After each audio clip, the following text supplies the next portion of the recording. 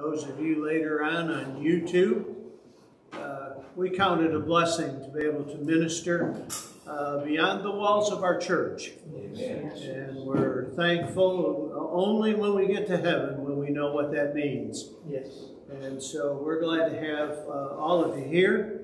Uh, it's always a privilege to be able to open the Word of God and to minister uh, the truths that are found therein. And uh, it is God's Word from cover to cover. Yes. It is God's truth from Genesis to Revelation. And uh, the tabernacle, I think we'll find as we go through, has uh, many hidden things that on a, just an arbitrary reading, uh, or a, as uh, Jerome and I like to say, a flyover, uh, mostly me, he likes it because I say it, but a flyover. And, uh, but, uh, you know, that's usually how we read a lot of the Old Testament when we read maybe through the Bible in a year we try to fly over the Old Testament about as quickly as we can. And uh, try not to stumble too bad as we get in some books that's one name after another name after another name. So uh, we're here tonight and uh, uh we are uh, Midway Baptist Church uh, located Athens, Alabama. And so we're going to just ask that God be with us tonight, and let's just ask Him for a blessing. Lord, we thank you for your grace, and Lord, we thank you that we can come to you. I admit that uh, I don't come near as often as I should, and I think many others are in that same boat. Uh, Lord, but uh, we love you. We thank you for our salvation. Yes. Uh, we thank you for this study that has such great implications uh, of your righteousness and of your love for us. And that uh, uh, it was your move to make fellowship with man from the Garden of Eden all the way through Abraham and now today the church. Lord, we just thank you that uh, you care for mankind and we know that uh, you care so much that we read the angels would want to look into this, why uh, our Savior became a little lower for a, a, moment of history than, than they were to save us. And yet, knowing that we say that, that in his humanity, he never stopped being God. And so, Lord, we thank you for your love, for your grace. And as we study the tabernacle, Lord, Give us insights. Give those who are studying with us insights into the Word.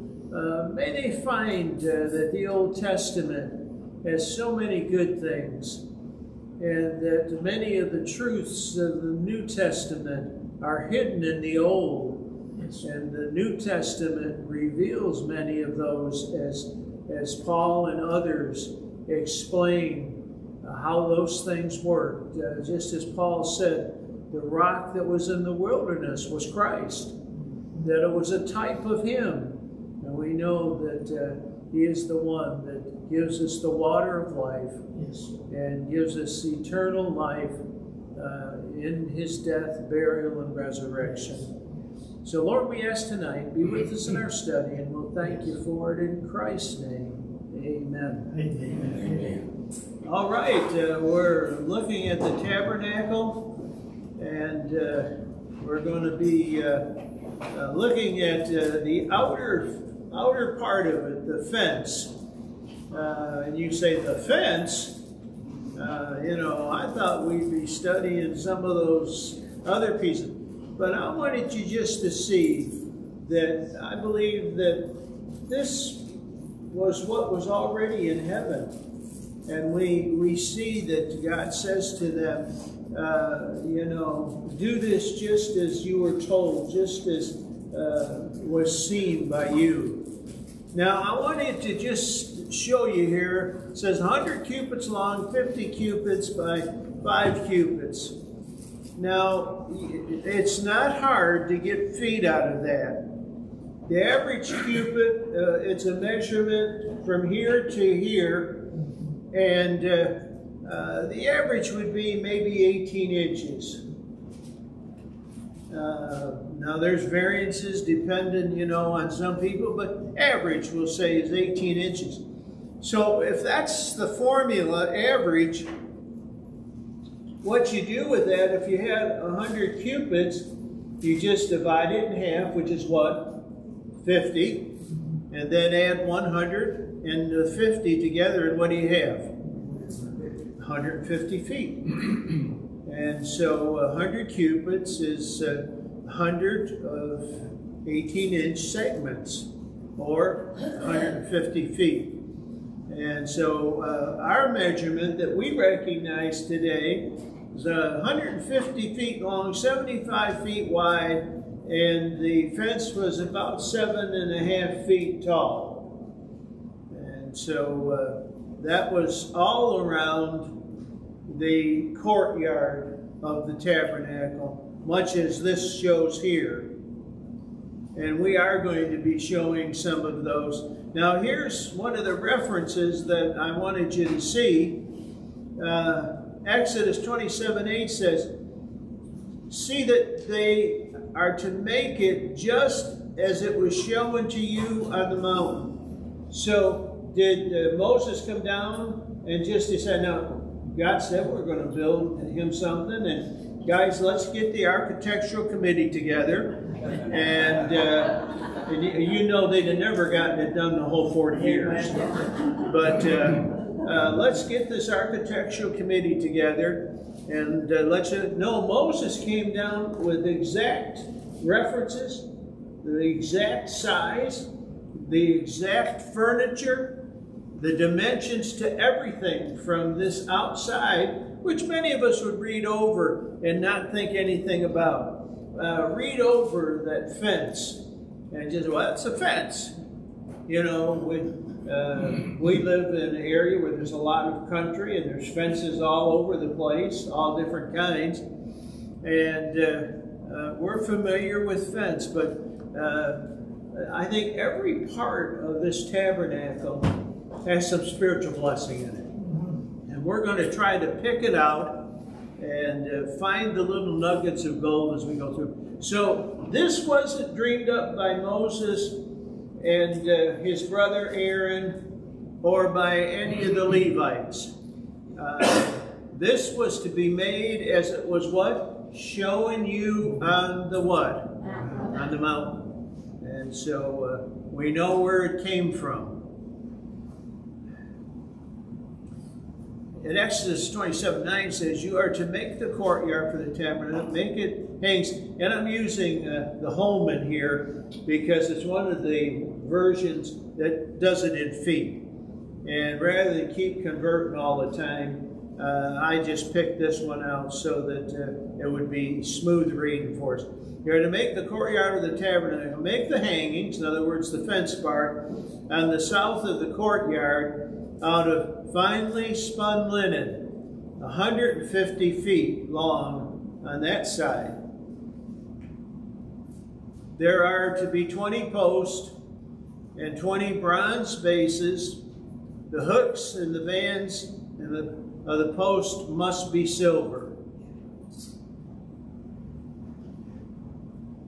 2711, then make the hanging on the north side 150 feet long. There are to be 20 posts, 20 bronze bases, uh, hooks and bands on the top of the post must be silver. Make the hangings of the courtyard on the west side. Uh, now that would be the back of the tabernacle area, the west side. Uh, 75 feet long. That was a solid, solid wall, a solid fence. And it had 10 posts uh, and 10 bases. Exodus 27, 13, and 14, make the hangings of the courtyard on the east side towards the sunrise 75 feet. Make the hangings on one side of the gate 22 and a half feet, including their three posts, and their three bases. 15, and make the hangings on the other side 22 and a half feet, including their three posts and their three bases. Now we got two sides. Uh, how big are the two sides added together? 45 feet. Yeah, 45 feet. Yeah. And uh, remember, the back was 75. So uh, it's going to be uh, pretty obvious that uh, the screen or the gate at the opening is going to be what? We take 45 from 75 and we got what? 30 feet. Well, we don't have to guess on that either. The gate of the courtyard is to have 30 foot screen embroidered with blue, purple, scarlet yarn, and finely spun linen. It is to have four posts, including their four bases. All the posts around the courtyard are to be banded with silver and have silver hooks and bronze bases. The length of the courtyard is 150 feet and its width is 75 on each end, and the height of the fence is seven and a half feet, all of it made of finely spun linen. The bases of the post must be bronze. And uh, we're going to begin to see uh, some of the things of how this reads and uh, we're going to kind of fly through a little bit of this because there's quite a quite a few things I put in this one. Uh, it was made of fine twined linen. We read. 150 feet by 75 by seven and a half foot tall. Linen represents God's righteousness, uh, and of course also the can represent the righteousness of Christ. And uh, remember when Jesus came, he said, I always do what the Father did. Whatever the Father was, he was. And so, matter of fact, uh, I said to you guys when we studied the book of Revelation, I believe the only, only one of the Godhead that we will see physically ever is Jesus. God, God is infinite. God's through the universe. We all amen last week we said the universe doesn't contain God, but God contains the universe. Uh, now, we, we will probably, well, I know we will. We'll see the Shekinah glory at the throne. Uh, we've read that in Revelation. We'll see the rainbow. We'll see the, the ones that surround the throne and the holiness of God. And uh, uh I believe we'll see God as, as a Shekinah glory the brightness of his being uh, will be there. Uh, it's just like when the high priest once a year uh, met with God in the Holy of Holies, which will be a great study when we get to it. Uh, you think that was the only place God was at that point? No. No, that was a that was a representation of uh, and his representation, we said, was there 24 hours a day. Cloud by day and fire by night. Uh, his presence was always there with these Israelites. The fence uh, was, I believe, to keep sinners out. It was seven and a half feet. Uh, God's righteousness was taking place inside of this sacrifice and commitment and uh, His work and uh, His holiness. And uh, no one except priests ever saw what happened inside the tabernacle itself. That was only the confines of the priest. And the Holy of Holies was the confines of one priest once a year when he took the blood offering into God for the atonement of the people. So, uh, that Holy of Holies place wasn't something people rambled in and out of. And uh, we'll be seeing that as we come to it. Uh, the only entrance was the eastern gate. Uh, it's interesting, as far as I know, uh, Christ talks about coming out of the east. And the only gate that's shut up uh, that, that last I knew of, is the eastern gate of Jerusalem. Uh, our Savior is going to come from that direction. And uh, uh, pretty well been stoned over since uh, the days of his death. So the only entrance was that eastern eastern gate side.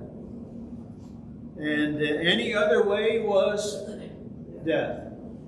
Any other way was death. Uh, you, you, you weren't to crawl under. Uh, you weren't to try to crawl over. And uh, uh, God said there's only one way. And that's important in our study. The outer court fence. Jesus is our only way. Fact, He is the only way for all creation. Uh, he was the salvation to the Jew as well as the Gentile, us. And uh, uh, He's our Savior. Uh, Old Testament saints didn't go to heaven.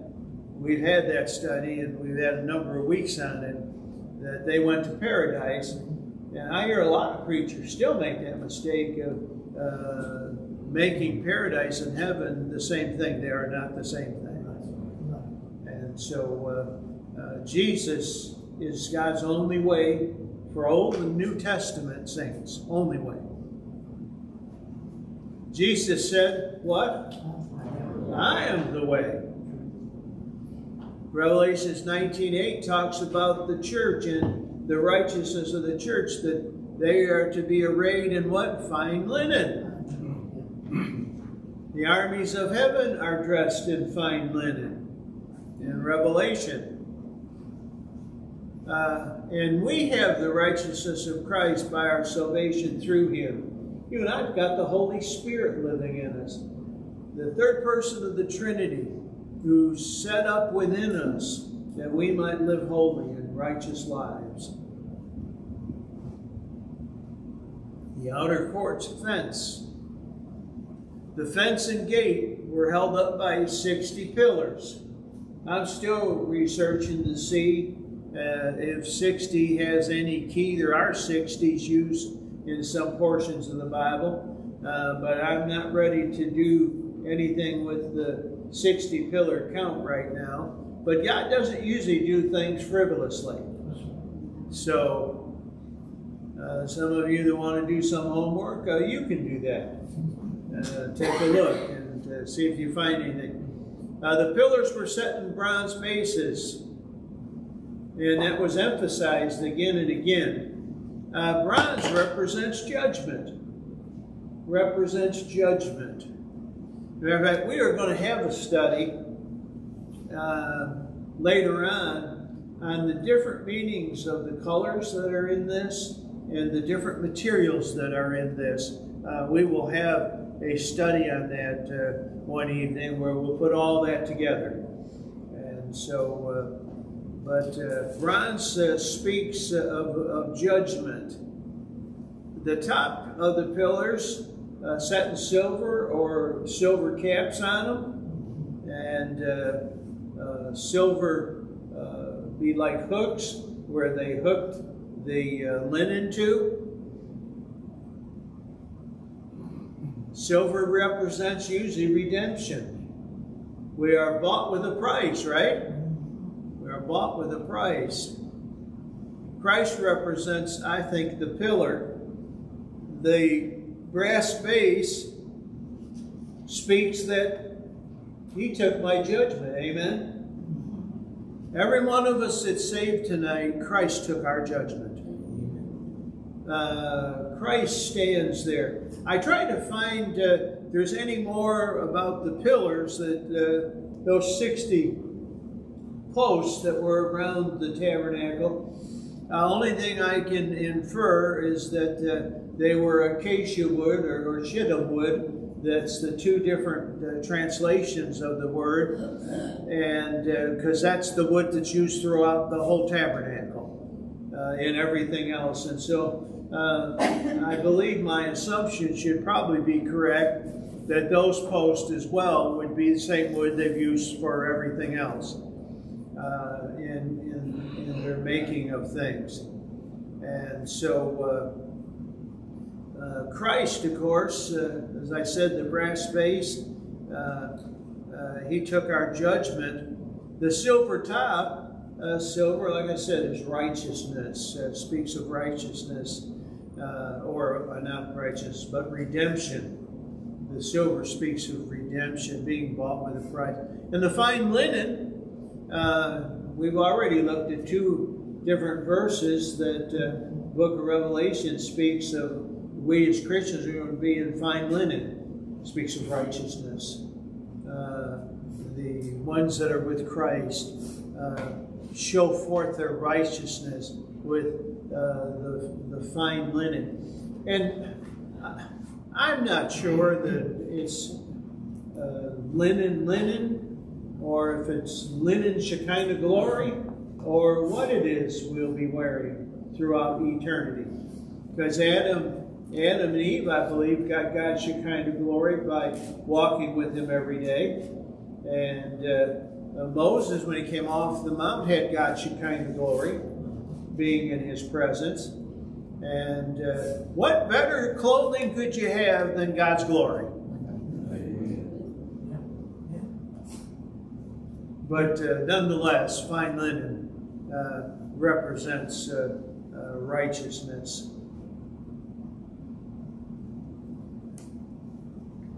Christ took our judgment, uh, the bronze, and he provides redemption uh, the silver.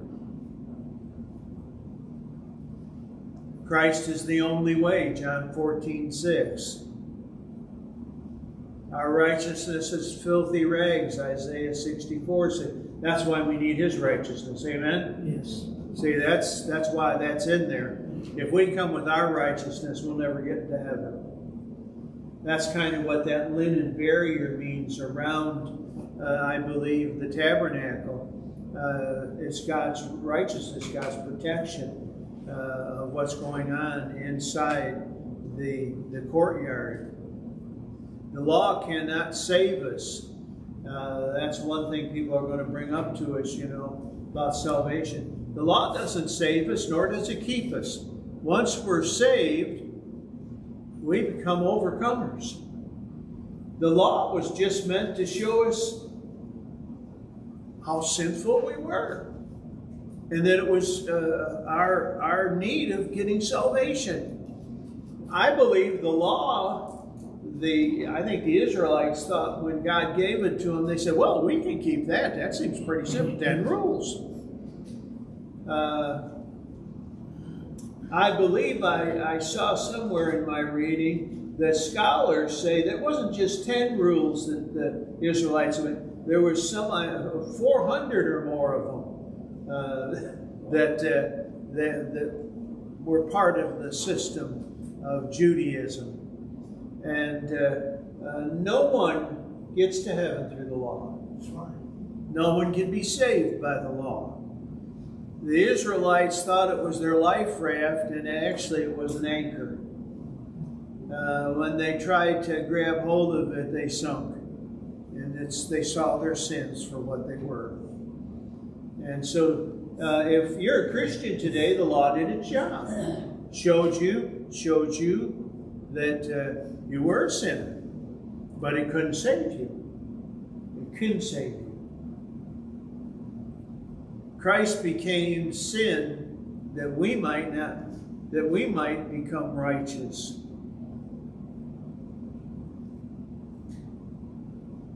Christ took our judgment to provide our redemption. Christ is the only way, and here's your verse. Jesus said to them, I am the way, the truth, and the life, and no one comes to the Father except through me, except through him.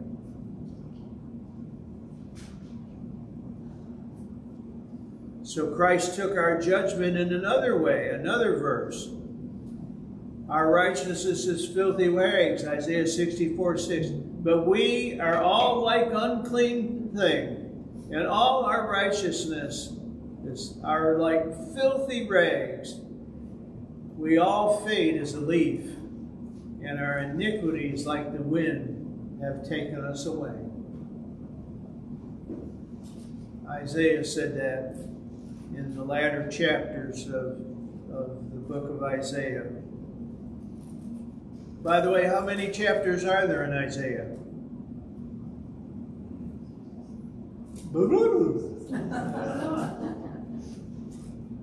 How many books are there in the Bible? How many chapters are there in Isaiah?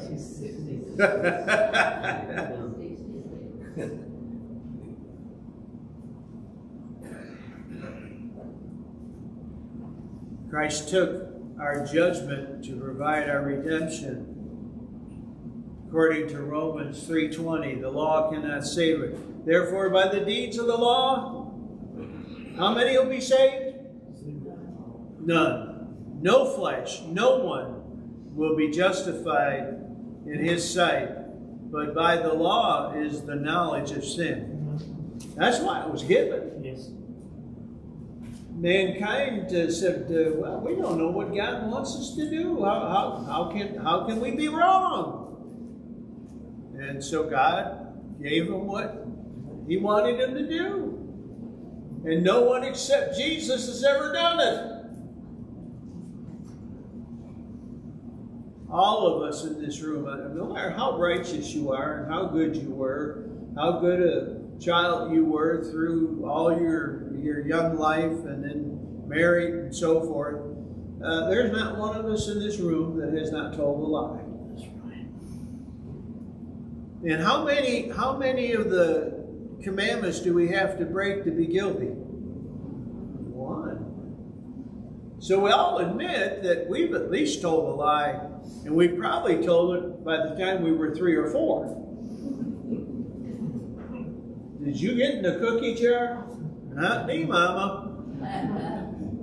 Well, what are those crumbs on your face? Well, I think the dog was in there and he licked my face. yeah, well, you know, and we could look just like cherubs when we did it. Yeah. So, you know, we, we, we have all failed the test. We have all failed the test. And thank God that his son came and didn't fail the test and uh, became our righteous Savior.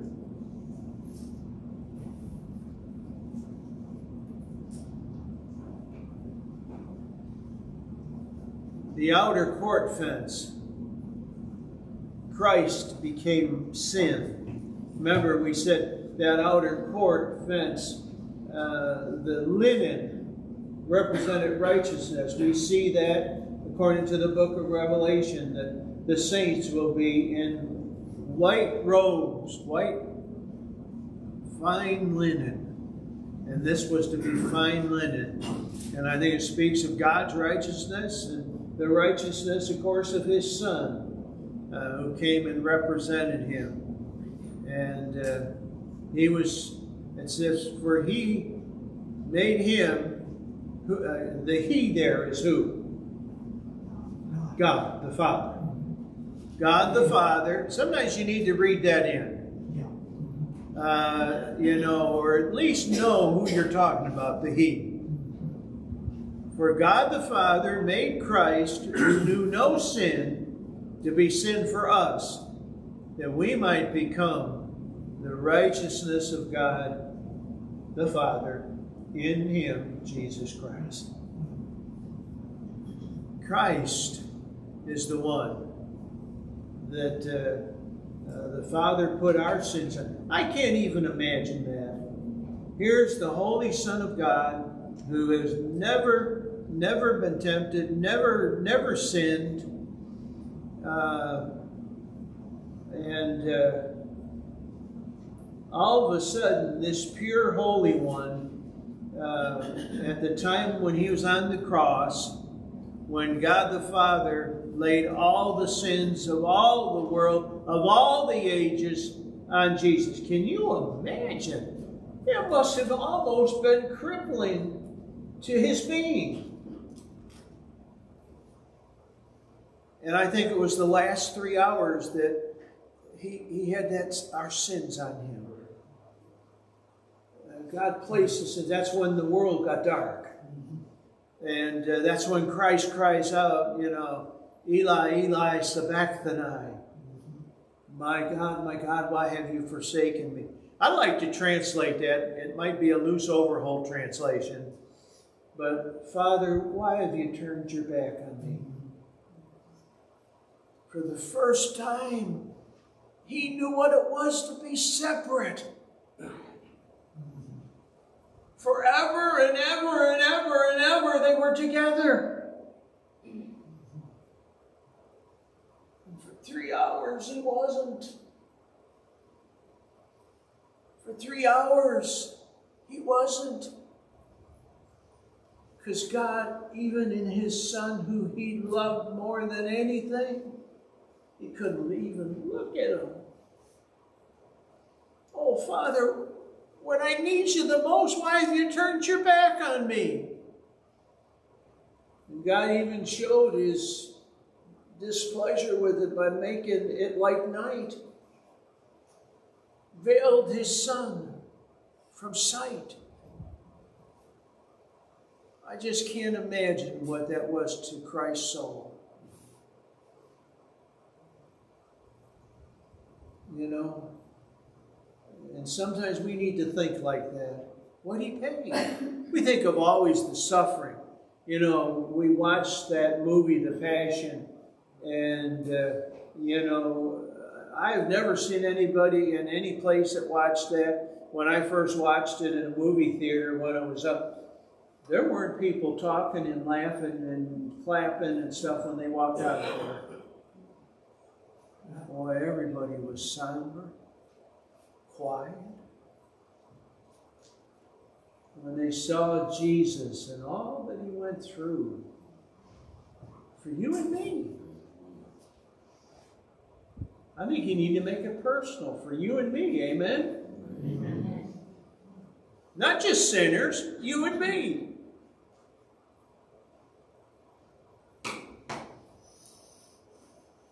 the outer court fence. Christ became poor. This, is, this has become through the years uh, one of my favorite verses. And uh, Philippians 1.21 for years has been one of my favorite, but this has become one of my favorite verses. And I preach it like a Christmas message. You say you do what? Yeah, uh, here you, you see uh, that Christ uh, speaks of him coming down. Uh, if you read between the lines, and becoming one of us, he became a baby. He was born in Bethlehem. It says, though our Lord was rich, yet for our sakes he became poor. He became poor as soon as he became a human being. Amen? Amen. Became poor. But this second part is so great. That you through his poverty might become rich.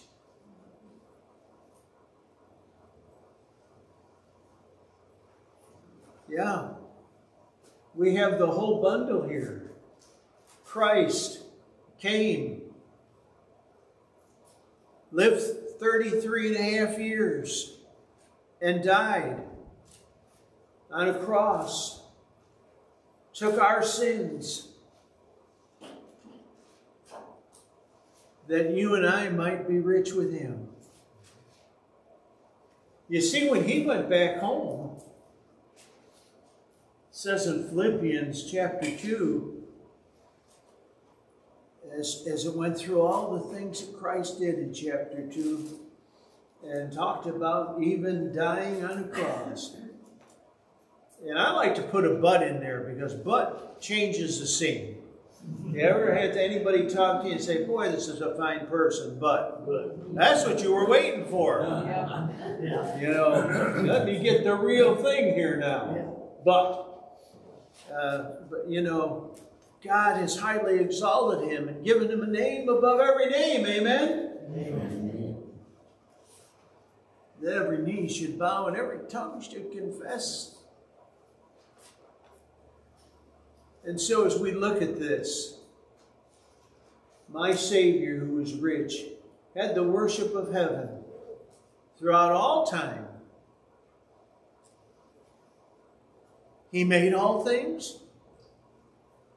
He holds all things together.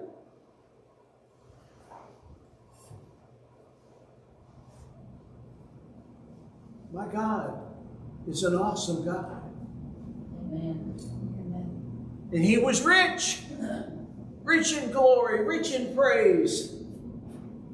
The angels of heaven worshiped him, beings that we have never even seen worship him.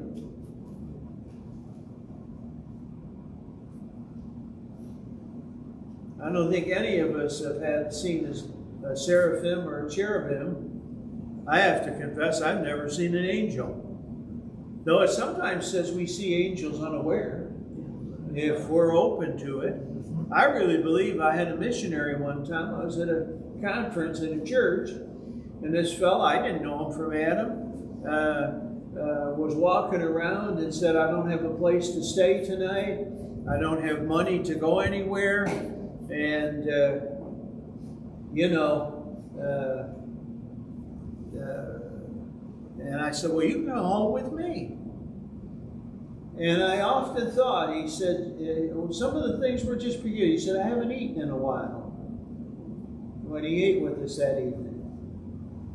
And uh, uh,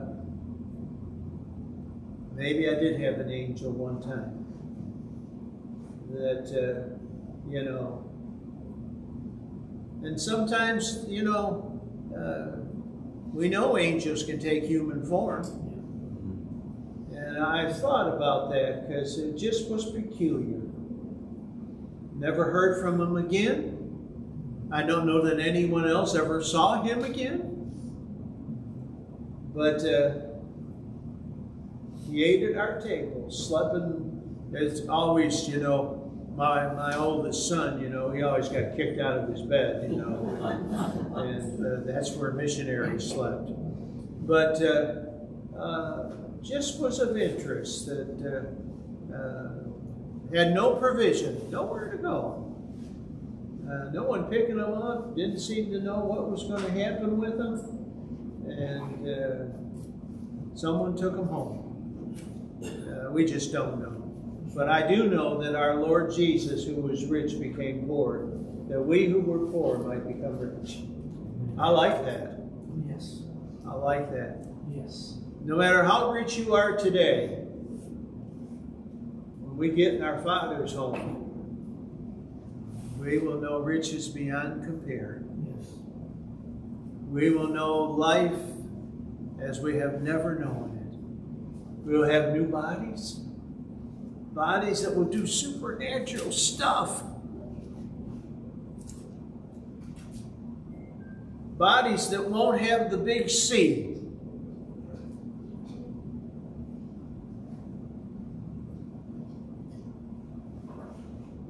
Or the big HA, heart attack. Yeah. These bodies are wearing out, aren't they? One of these days we'll have one that won't. That's right. No more cancer. I won't have to keep going down to the doctors and getting po posted my gums and fake teeth on top of them and uh, uh, it's going to be great. I won't have any backaches anymore. That'd be pretty good too. but we we we live on planet Earth such a short time. Bible says it's like a vapor. It's like a vapor. And I'd just like to encourage the folks that are here tonight, and those of you who are listening to this, we don't have long on planet Earth. And you know, if you believe that, you know, you just live here, you die, and that's the end of it, that's not what my Bible says. My Bible says there's a judgment coming. Yes. And if you've never received Jesus Christ, you're going to hear some awful words. Awful words. I don't know you. Depart from me. I think those are awful words. But I thank God we who do know Him are going to live with Him forever. Amen. Yes, amen. Live for Him forever. So I hope you realize that the grace of the Lord Jesus Christ and how I use that is I do that at Christmas. And I mentioned, you know, that we we talk about joy and love and all and peace at Christmas. And I just said, uh, as I usually start this the message for that, let's add another word to Christmas: grace. It says, "For you know the grace of our Lord Jesus Christ." I think that's a good Christmas word. Yeah. And so, uh, as uh, we come to the conclusion of our study, uh, I pray that as you've seen these verses, uh, those of you who are listening to us on air, again, this has been from uh, Midway Baptist Church in Athens, Alabama. And uh, we invite you to church at 11 o'clock every Sunday, uh, Sunday school. Uh, we still uh, are not doing an evening service, and but we are doing a Wednesday service, and I'm here, and pastor's here, and and there's a good group of folks here. But uh, I pray that if you've been touched by this, uh, may you look into the Bible and find that Jesus is your answer. And whatever you think about it, I do know that for God so loved the world that he gave his only begotten Son, that whosoever believes in him should not perish, but have everlasting life Amen. Amen. May I ask a question? It's not time yet.